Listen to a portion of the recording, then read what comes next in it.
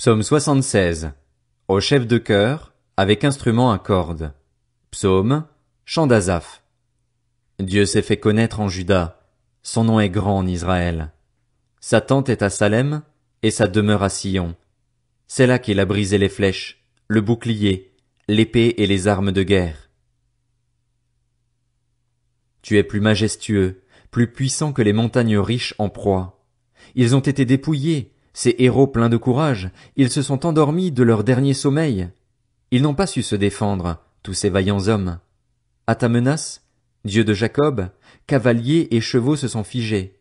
Toi, tu es redoutable. Qui peut te résister quand ta colère éclate? Du haut du ciel tu as proclamé ta sentence. La terre, effrayée, s'est tenue tranquille lorsque Dieu s'est levé pour faire justice, pour sauver tous les humbles de la terre. La fureur de l'homme te célèbre, tu t'attaches ceux qui échappent à ta colère. Faites des vœux à l'Éternel, votre Dieu, et accomplissez-les. Que tous ceux qui l'entourent apportent des dons au Dieu terrible.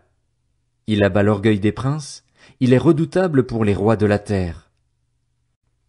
Psaume 77. Au chef de chœur, d'après Gédutune. Psaume d'Azaph. Ma voix s'élève vers Dieu, et je crie. Ma voix s'élève vers Dieu, et il m'écoutera. Quand je suis dans la détresse, je cherche le Seigneur.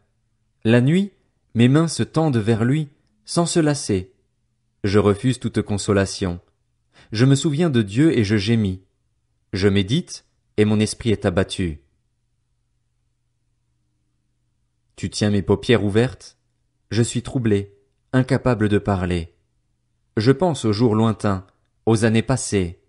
Je me souviens de mes chants pendant la nuit, je médite dans mon cœur, et mon esprit s'interroge. Le Seigneur me rejettera-t-il pour toujours? Ne se montrera-t-il plus favorable? Sa bonté est-elle définitivement épuisée? Sa parole a-t-elle disparu pour l'éternité? Dieu a-t-il oublié de faire grâce? A-t-il, dans sa colère, retiré sa compassion? Je me dis, ce qui fait ma souffrance, c'est que la main droite du Très-Haut n'est plus la même.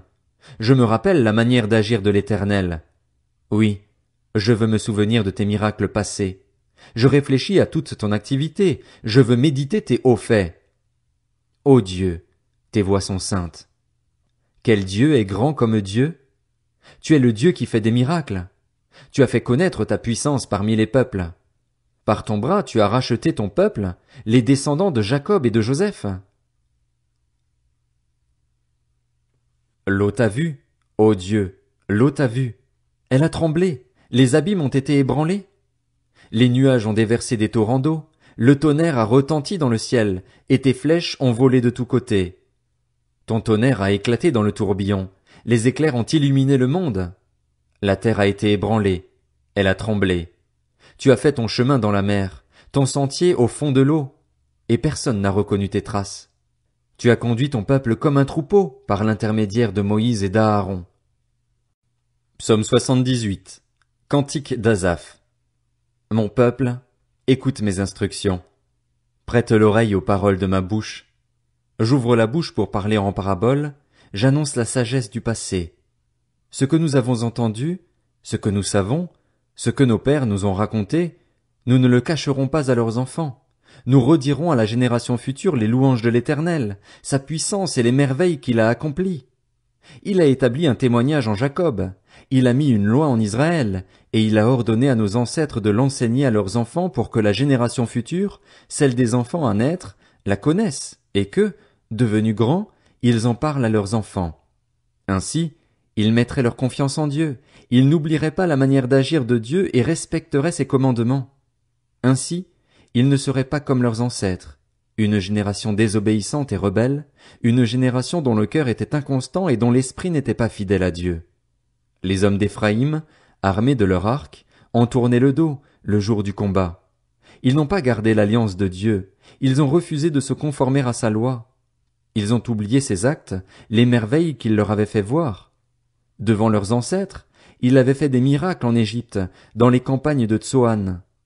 Il avait fendu la mer pour les faire passer, il avait dressé l'eau comme une muraille. Il les avait guidés le jour par la nuée et toute la nuit par un feu éclatant.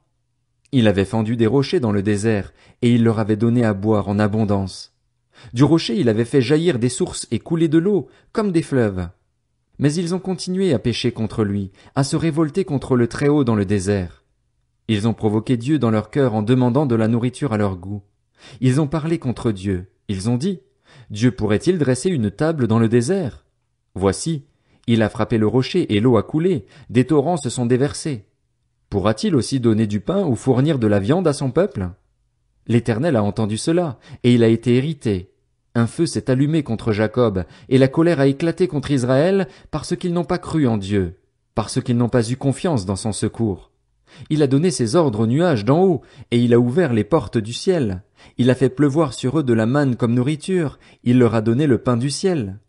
Ils ont tous mangé ce pain des grands, il leur a envoyé de la nourriture à satiété. Il a fait souffler dans le ciel le vent d'Est, et il a amené par sa puissance le vent du Sud. Il a fait pleuvoir sur eux la viande comme de la poussière, et les oiseaux ailés comme le sable de la mer. Il les a fait tomber au milieu de leur camp, tout autour de leur tente. Ils ont mangé et ont été pleinement rassasiés. Dieu leur a donné ce qu'ils avaient désiré. Mais ils n'avaient pas encore assouvi leur désir, ils avaient encore la nourriture dans la bouche, quand la colère de Dieu a éclaté contre eux. Il a fait mourir les plus vigoureux, il a abattu les jeunes hommes d'Israël. Malgré tout cela, ils ont continué à pécher et n'ont pas cru à ses merveilles. Il a mis un terme à leurs jours d'un seul souffle, à leurs années par une fin soudaine.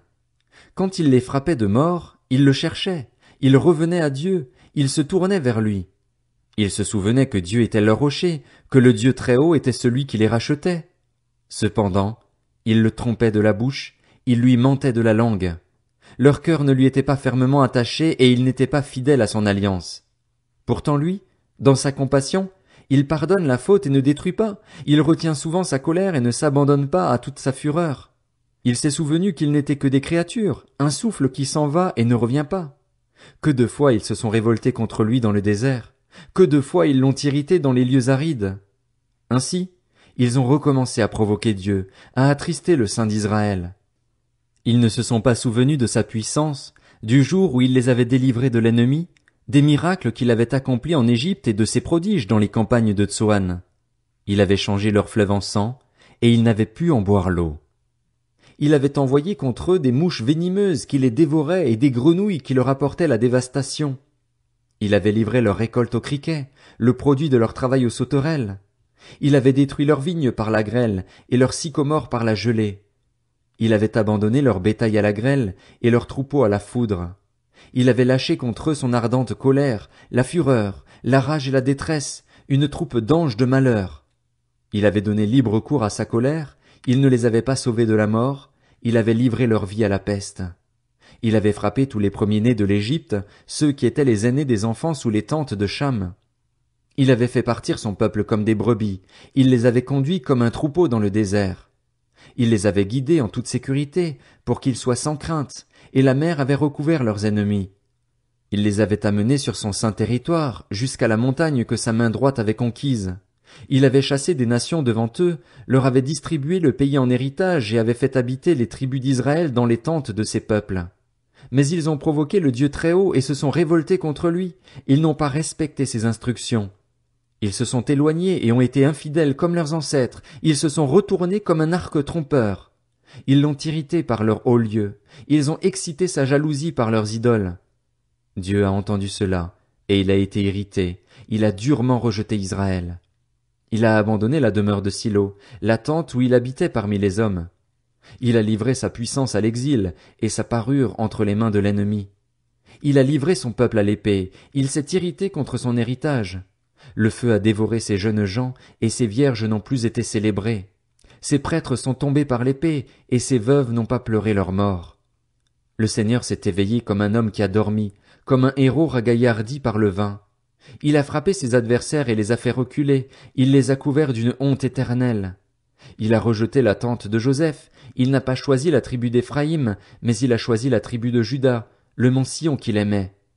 Il y a construit son sanctuaire, solide comme les hauteurs, comme la terre qu'il a établie pour toujours.